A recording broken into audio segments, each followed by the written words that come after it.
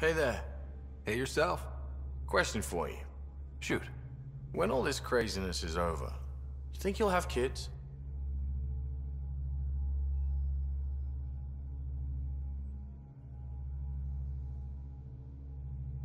Why is that on your mind?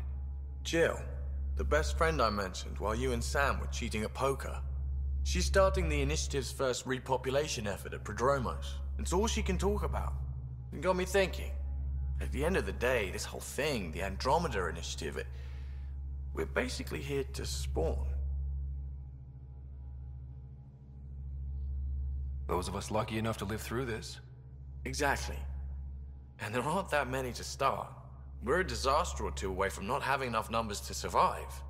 Jill's right. At some point soon, we better get busy making babies. True enough. Who knew this thing was just a glorified dating service? Eesh. The biological imperative is kind of a bummer.